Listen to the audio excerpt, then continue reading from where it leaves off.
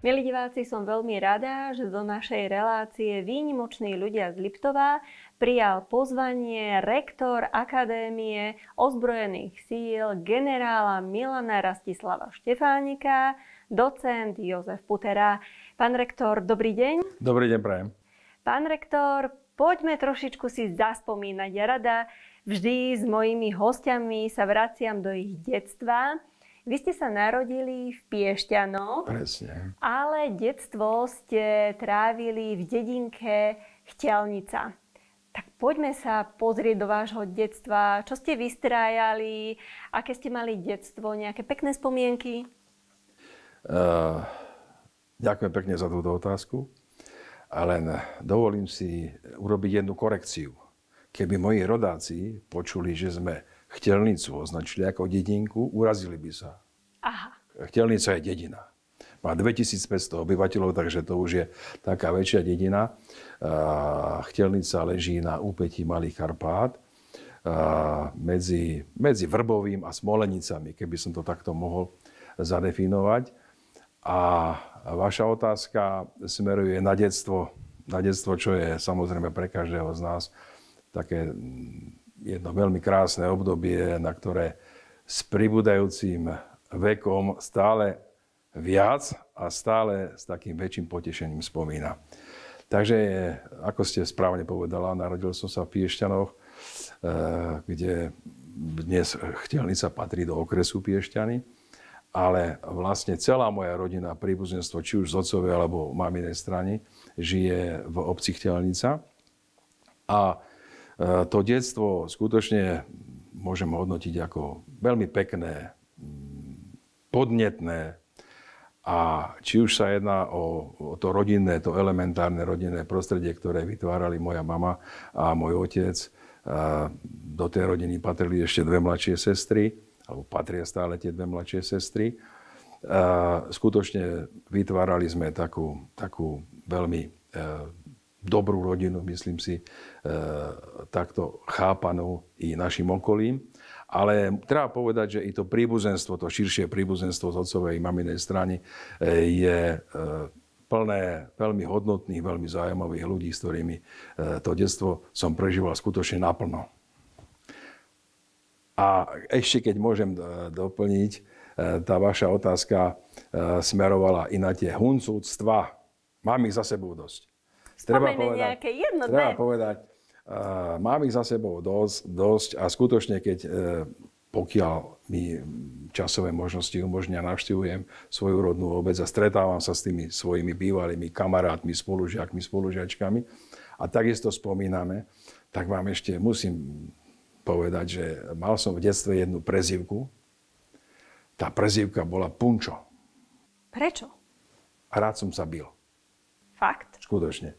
Dneska už ma to prešlo, skutočne, teda dúfam, že neklamem, ale tá prezivka Punčo ma, ma určitým spôsobom vystihovala. Bol som tak dobre stávaný chlapec od e, detských rokov, e, takže mali sme tie svoje partie, také svoje skupiny a viedli sme boje, vojny. Takže e, i tento rozmer svojho, svojho detstva mám za sebou a veľmi rád na to spomínam. Veľmi rád spomínam na školu, na základnú 9 školu eh, v Chtelnici, eh, kde som mal možnosť eh, stretnúť množstvo výborných učiteľov. Výborných učiteľov. Zámerne nechcem nikoho menovať, aby som, nedaj Boh, niekoho neurazil.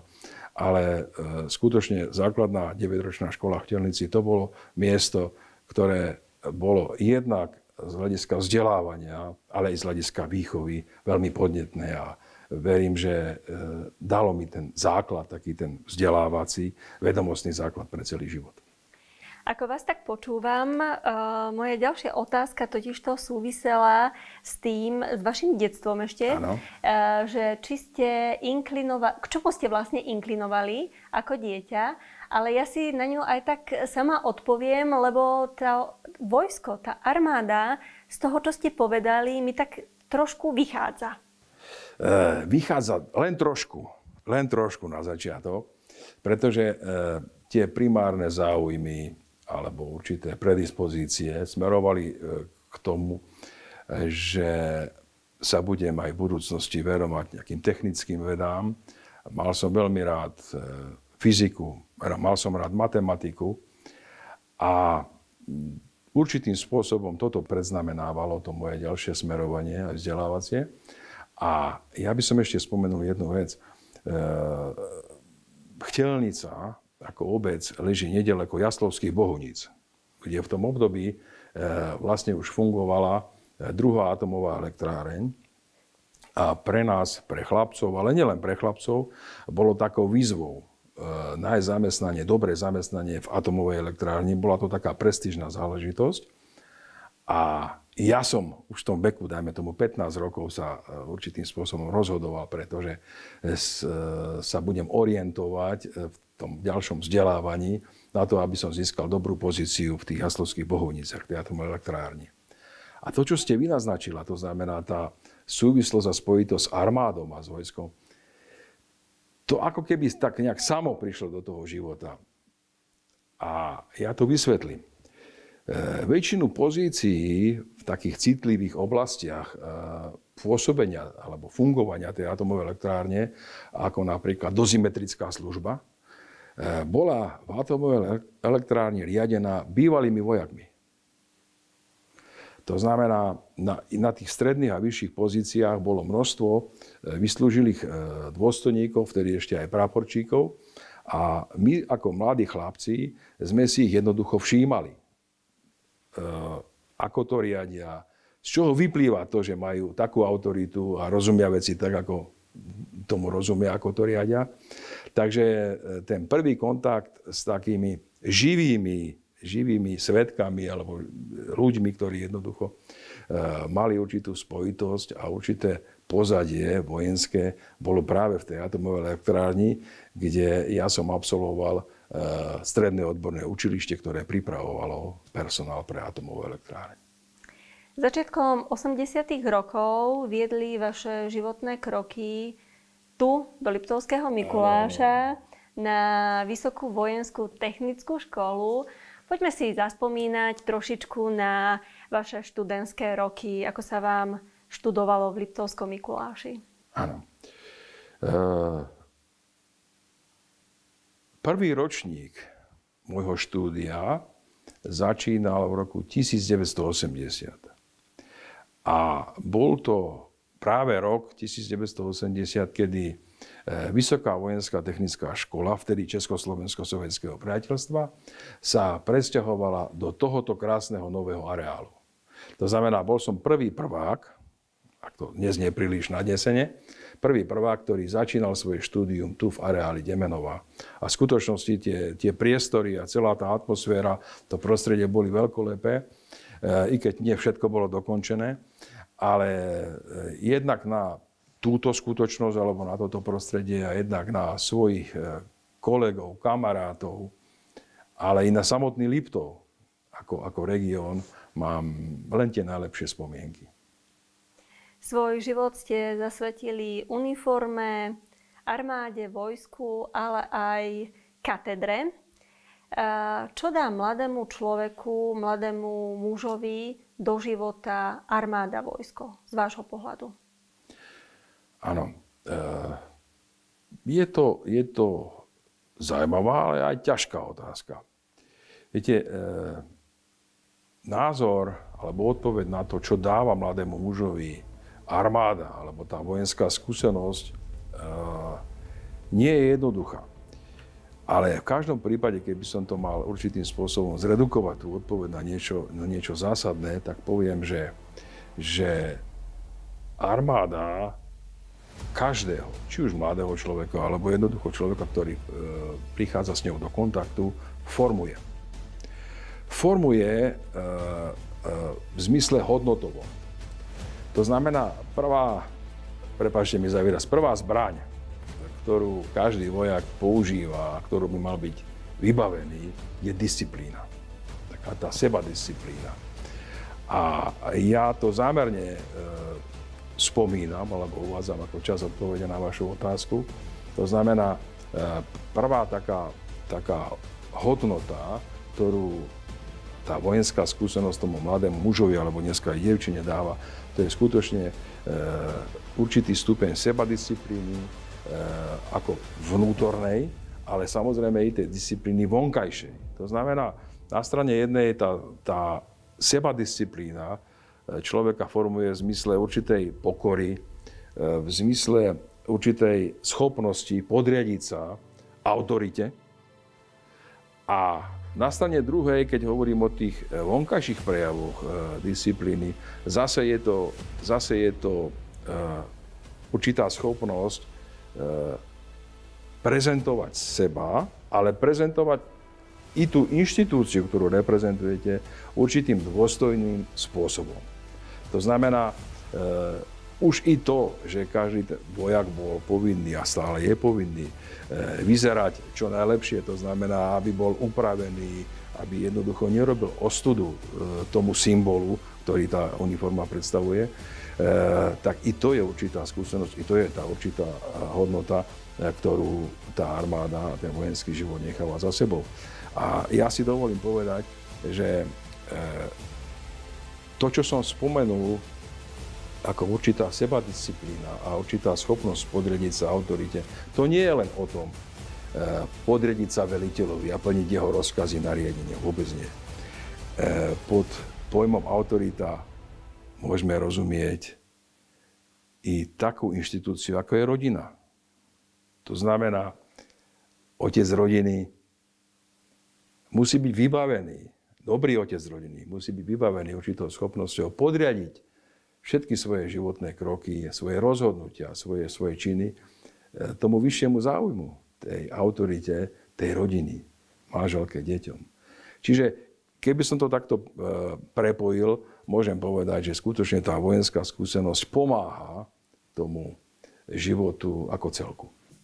Mne sa páčila, ak som vás dobre počúvala, e, páčila sa mi tá druhá časť vašej odpovede, že čo všetko by ten muž mal byť pre svoju rodinu a to je možno, že aj taký, taký odkaz pre mladých ľudí, čo by si mali možno do budúcna si zobrať minimálne, eh, vypočuť a zobrať k srdcu. To sa mi páčilo, to bolo veľmi pekné. Ďakujem pekne. Uh, na svojej alma mater ste vyučoval odbornosti v oblasti navádzacích systémov rakiet v rámci protivzdušnej obrany. Ako, akým spôsobom ste sa k tomu dostali? Uh, jednoducho. Uh, od nástupu na Vysokú vojenskú technickú školu, to znamená od toho roku 1980, som študoval na vtedajšej prvej fakulte Vysokej vojenskej technickej školy, čo bola e, fakulta protivzdušnej obrany štátu, e, ktorá pripravovala personál, dôstojnícky zbor práve pre tzv. protidrlové raketové vojsko. Takže e, viac menej tá orientácia na navádzacie systémy rakiet vyplývala už z obsahu a zamerania môjho štúdia, ktoré som ukončil v roku 1985. A po určitej praxi e, v, útvaroch e, Československej ľudovej armády vtedajšej som nastúpil do internej vedeckej ašpirantúry a po jej ukončení logicky som pokračoval ako pedagóg na vtedajšej katedre navádzacích systémov rakiet. Aké to bolo stať za katedrou? Uh, viete, tá pozícia alebo poloha človeka, ktorý stojí uh, za katedrou v určitej polohe predchádzajúcej, to znamená v pozícii študenta alebo žiaka, už ako to, ako to nazveme, je úplne odlišná. Priznám sa vám, že tie prvé prednášky, prípadne cvičenia, ktoré som viedol už v rámci ašpirantúry, ale neskôr ako začínajúci učiteľ, eh, si vyžadovali dôkladnú prípravu. Skutočne eh, v tom období, a verím, že tomu je aj teraz, pod môjim vedením, príprava učiteľa na tieto vzdelávacie aktivity musela byť veľmi zodpovedná a bolo to určitou takou vecou profesnej cti, aby sme e, pred tými našimi študentami vtedajšími e, pôsobili čo najvierohodnejšie, čo najpripravenejšie a boli schopní odpovedať na všetky e, otázky, respektíve objasňovať všetky súvislosti tých disciplín, ktoré boli predmetom našej výučby. Po 94. ste sa zamerali na elektronický prieskum a elektronický uh, pomôžem si boj? Elektronický boj. Áno, áno, áno, áno, áno. E, presne tak. E, ono to súviselo s, so zmenami, ktoré prebiehali v spoločnosti e, v roku 1994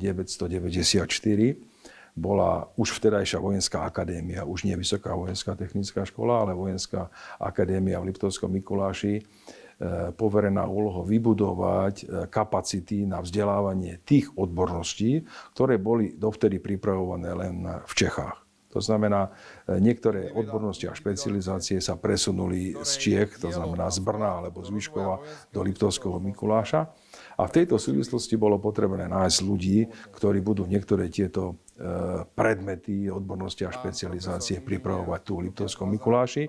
No a práve e, problematika a oblasť elektronického boja, elektronického prieskumu e, bola z hľadiska môjho zamerania pomerne blízka.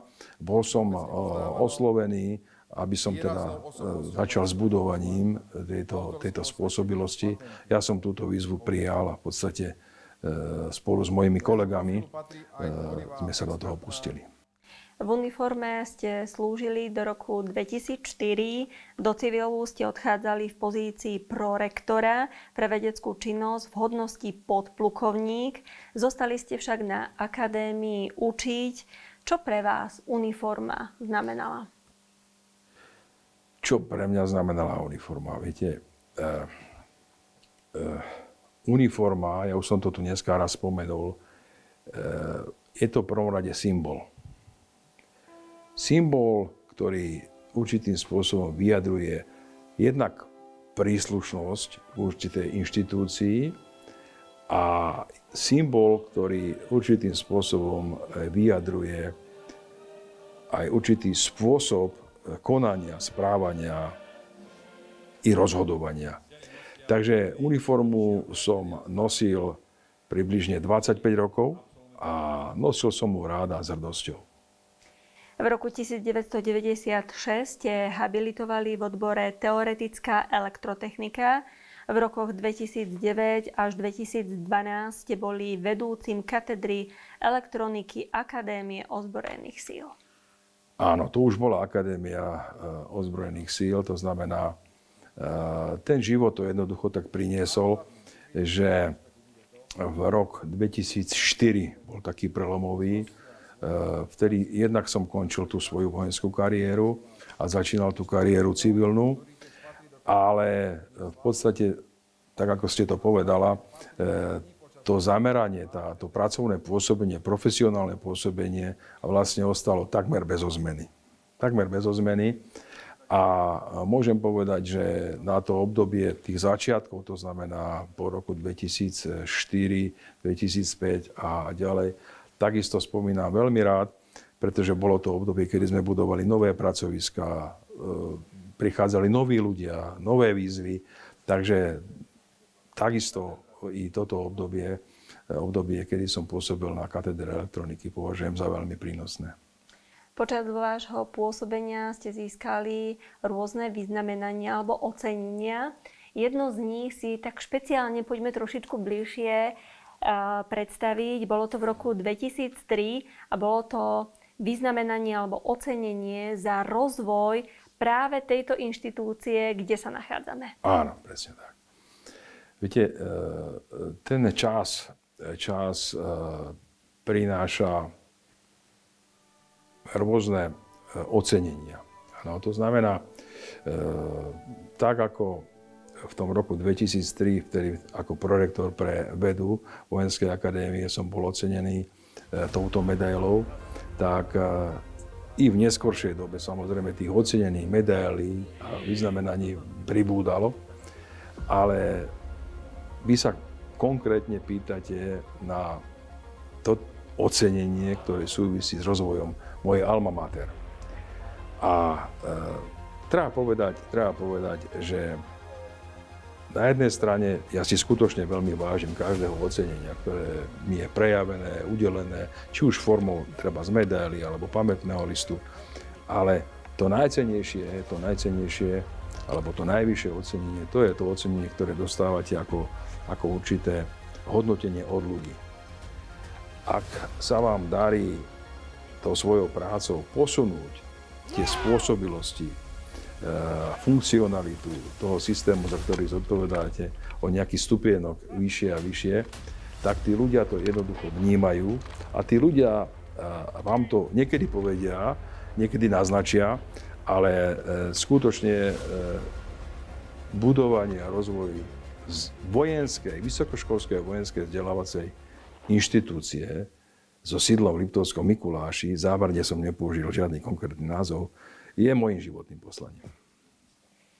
Pán rektor, počas, podielali ste sa aj teda na výskume, vývoji a spracovávaní štúdií v oblastiach vojenské spravodajstvo a elektronický boj, senzory elektronického prieskumu, senzory v aplikáciách boja proti terorizmu či číslicové spracovanie signálov.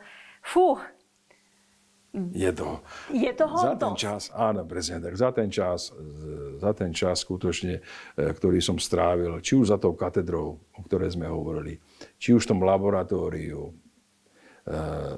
jednoducho je povinnosťou každého vedecko-pedagogického pracovníka e, generovať určité výstupy a výsledky svojej práce. No a vy ste práve spomenula niektoré oblasti, ktorých som pôsobil z pravidla už na určitých vyšších funkciách, to znamená či už e, ako vedúci projektového týmu alebo vedúci katedry a podobne. A e, je treba povedať, a to neberte ako nejaké kliše, ale skutočne, skutočne bez toho, aby som mal podporu konkrétne a svojich skvelých kolegov a častokrát bývalých študentov, častokrát bývalých študentov. Eh, bez toho by sme nejaké seriózne výsledky, výsledky, ktoré boli odprezentované nielen na národnej, ale i medzinárodnej úrovni, nedosiahli. Takže touto cestou chcem oceniť skutočne i tú prácu mojich, mojich kolegov, eh, nezávisle od toho, v ktorom období tej našej spolupráce alebo v tom vývoji eh, a, a, a histórii Vysokej vojenskej školy s ktorou to bolo teraz spojené. Pán rektor, ja keď som sa pripravovala na náš rozhovor a v podstate aj počas dnešného rozhovoru, tak zistujem, že váš život je profesionálny život, bol a vlastne ešte stále je veľmi bohatý. Zúčastnili, a aktívni teda, zúčastnili ste sa na riešeniach viacerých národných a medzinárodných projektov v oblasti profesionálneho záujmu, ste spoluautorom troch patentov, výsledky výskumu a vývoja ste publikovali na národnej a medzinárodnej úrovni. Áno. Napríklad aj takéto veci. Áno, áno. Je skutočne takým bonusom, bonusom ktorý priniesla e, tá moja práca a to poslanie, ktoré som naplňal, že človek má možnosť treba cestovať. Je jasné, že účasť na medzinárodnej konferencii, kdekoľvek v zahraničí, je určitou vizitkou toho, teda, že máte e, čo povedať e, tým svojim kolegom v zahraničí, ale na strane druhej máte možnosť načerpať nové vedomosti, e, získať nové kontakty a určitým spôsobom sa inšpirovať pre ďalšiu prácu. Ale treba úprimne povedať, že e, tieto aktivity, ktoré sú zamerané na prezentáciu vedeckej činnosti v zahraničí, vám umožňa i poznať život v tých krajinách alebo v treba i e, univerzitách, vojenských akadémiách, s ktorými prichádzate do kontaktu. A ja som za to veľmi vďačný, že tá moja práca a i samotná inštitúcia eh, Akadémia ozbrojených síl mi umožnili vidieť veľkú časť sveta. Určitú časť života som strávil aj v zahraničí. 9 mesiacov som strávil na univerzitách vo Veľkej Británii. A to sú všetko veci, ktoré jednak obohatili mňa ako človeka, ako učiteľa, ako vedca, ale to sú všetko veci, ktoré zase ja veľmi rád a dúfam, že v dostatočnej miere e, odozdávam tým svojim nástupcom, prípadne študentom. Pán rektor, e, mojimi otázkami pomaličky ideme do súčasnosti A zastavíme sa ešte v roku 2015. Konkrétne 13. október 2015, deň, kedy vás prezident Andrej Kiska vymenoval za rektora a v roku 2019 ste sa stali staronovým rektorom akadémie. Moja otázka je, pán rektor, aké to je byť rektorom tam, kde ste kedysi začínali ako študent?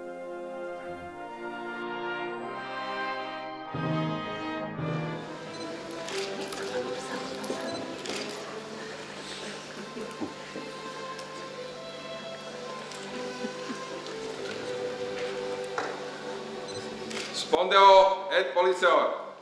Vstupujem vernosť Akadémii ozbrojených síl generála Milana Rastislava Štefánika. Dovolím si odpovedať e, jednoduché.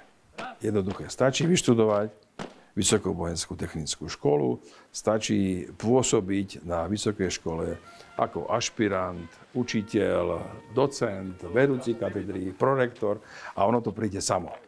A ste rektorom. A, a som rektorom. A, ale v každom prípade treba možno trošku neskorne povedať, že, že tie pocity, ktoré prežívate e, v tom prezidentskom paláci a tie slova, ktoré počujete z úst e, či už vtedajšieho e, pána prezidenta Kisku, alebo súčasnej pani prezidentky Šaputovej, sú zavezujúce a sú jednoducho určitým takým, i takým vyznamenaním e, toho, čo ste urobil, ale pozor, určitým záväzkom pre to, čo ešte urobiť máte.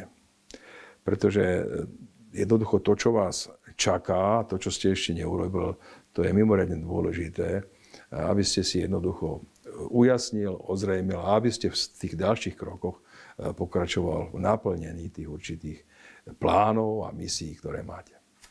Zastavíme sa trošičku pri vašich cieľoch, lebo vašim cieľom ako rektora bolo dokončenie komplexnej akreditácie akadémie a stavebné projekty zo štrukturálnych fondov Európskej únie. Áno.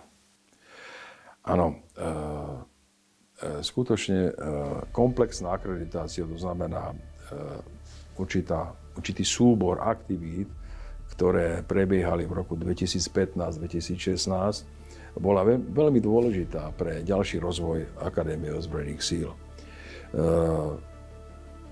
mali sme vďaka práci, ktorá bola odvedená za posledných zhruba 10 rokov, mali sme to šťastie, že všetky študijné programy a všetky, všetky oprávnenia, e, o ktoré sme žiadali, sme dostali.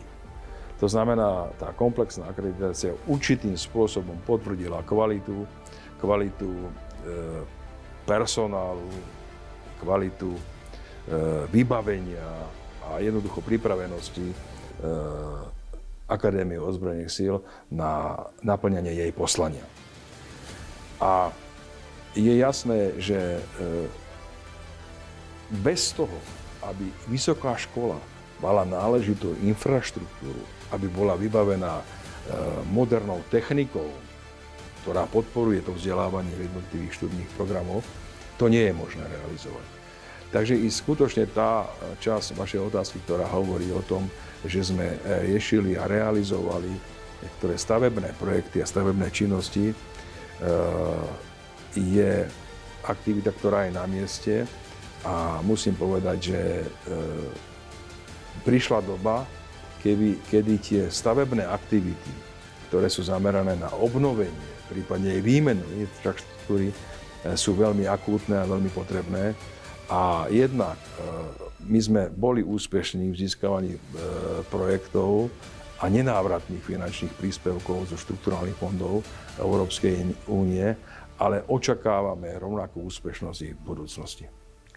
Pán rektor, poďme si ešte trošičku zaspomínať alebo možno nejakým spôsobom porovnať armáda a vojsko v súčasnosti a z vášho pohľadu treba pred nejakými tými 40 mm, rokmi, keď ste vlastne sa dostávali do kontaktu s vojskom. Áno. E, skutočne, e, skutočne ten pohľad na armádu a vojenstvo dnes a zhruba pred tými 30-40 rokmi je, je úplne iný.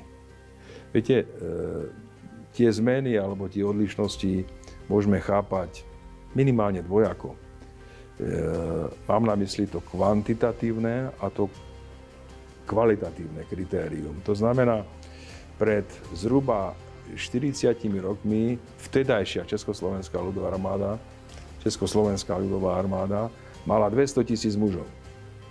Keď si zoberieme, že Slovensko reprezentuje zhruba tretinu pôvodného Československa, tak dnes by v armáde Slovenskej republiky alebo v ozbrojených silách Slovenskej republiky malo pôsobiť cca 65 tisíc mužov.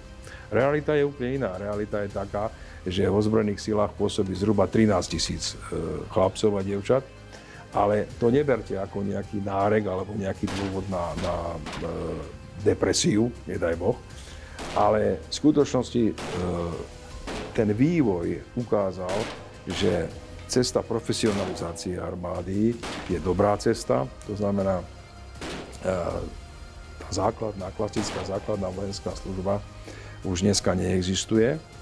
I keď e, ozývajú sa, ja si myslím, že sú to objektívne oprávnené hlasy, že povedzme príprava aktívnych záloh alebo príprava vôbec e, populácie, tej mužskej populácie na obranu štátu e, jednoducho nie je taká, ako by sme si predstavovali, aká by mala byť. Takže áno, to kvantitatívne hľadisko, ktoré som použil ako prvé, je také, že e, vojakov je síce menej, ale tá redukcia počtu by mala viesť k zvýšenej kvalite v oblasti prípravy, jednak personálu a samozrejme jednak e, techniky, vojenské techniky. E,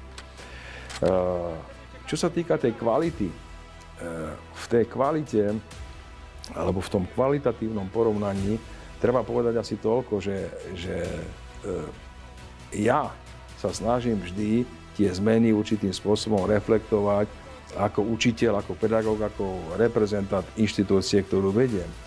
A chcem jednoducho povedať, že ten vývoj a ten súčasný pohľad len potvrdzuje to, že e, tú armádu, tie ozbrojené sily, tie útvary, jednotky musia riadiť a o ľuďoch rozhodovať len veľmi dobre pripravení dôstojníci a kvalitný manažerský personál.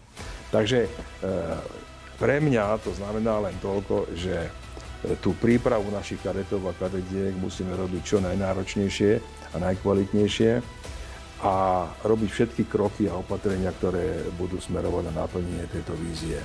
Pre nás, pre Akadémiu ozbrojených síl, e, táto vízia, táto úloha do budúcnosti, do budúcnosti znamená realizovať niekoľko, niekoľko zmien Tá prvá, o ktorej už hovorím určitú dobu, je posilnenie a omladenie pedagogického personálu. Skutočne to je úloha, ktorá je veľmi, veľmi dôležitá. E, značná časť personálu, myslím pedagogického personálu, má vysoký fyzický vek a to, čo potrebujeme, je tento personál omladiť, Samozrejme i v kategórii našich civilných učiteľov, ale dominantne to potrebujeme zrealizovať e, v rámci e, vojenského personálu. To znamená, potrebujeme do pedagogického zboru našej akadémie dostať čo najviac mladých dôstojníkov a dôstojníčiek, ktoré majú určité skúsenosti už z praktickej činnosti v ozbrojených silách a ktorí sa podujmú na to, aby jednoducho rozvíjali tú svoju ďalšiu vojenskú kariéru ako pedagógovia Akadémie ozbrojených síl.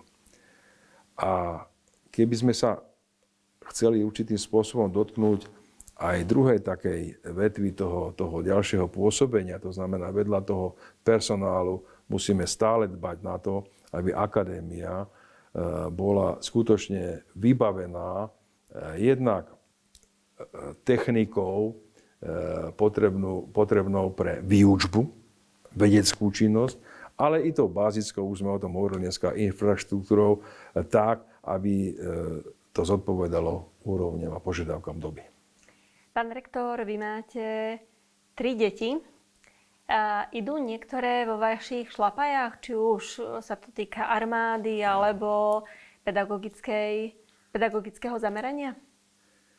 Ani jedno. Ani jedno. Ani jedno. Uh, dcera, uh, dcera žije a pracuje v Londýne. Jej vzdelanie je ekonomického smeru a synovia sú obaja informatici. Eh, ani jeden si nezvolil vojenskú kariéru, alebo teda vojenskú dráhu pre svoj život, ale teším sa z nich, pretože majú svoje ambície, majú svoje plány a dúfam teda, že sa im bude dariť. Pán rektor, náš rozhovor sa chýli ku koncu. Eh, počas nášho rozhovoru sme spomínali podstate spomínali sme na celý váš ten taký doterajší život, detstvo, profesionálny život. A mňa by zaujímal, bol naozaj veľmi bohatý a je bohatý, ale aké má ešte ciele pán rektor, docent Jozef Putera? Áno. Takže tie ciele sú, tie ciele sú samozrejme určitým spôsobom naznačené v tých mojich predchádzajúcich odpovediach.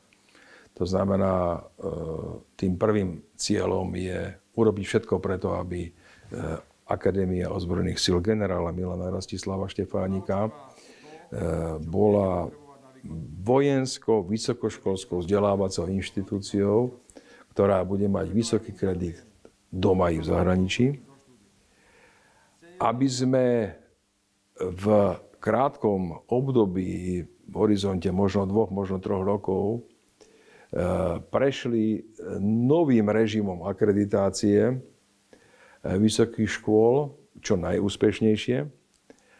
A aby sa nám podarilo realizovať všetky tie rozvojové projekty, či už sú to stavebné projekty alebo projekty eh, rozvoja eh, infraštruktúry výchovy a vzdelávania, tak, aby sme skutočne vedeli tým našim kadetom a kadetkám poskytnúť prostredie, ktoré je podnetné a ktoré, ako som to už dneska povedal, zodpovedá požiadavkám doby.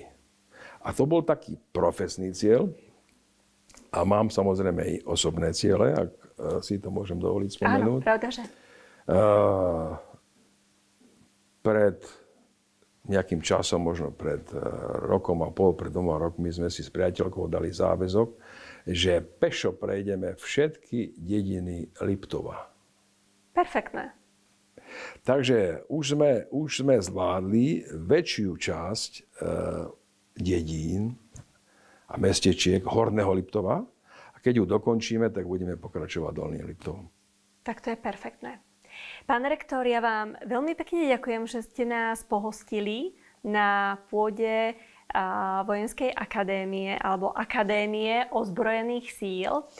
Želám vám veľa, veľa zdravia, lebo myslím, že to je pre každého z nás to najdôležitejšie. Veľa, respektíve splnenie tých osobných, ale aj profesionálnych nejakých cieľov. Ďakujem veľmi pekne. Ja ďakujem. A s vami, milí diváci, sa lúčim a teším sa opäť na budúce. Majte sa pekne. Dovidenia. Dovidenia, ďakujem.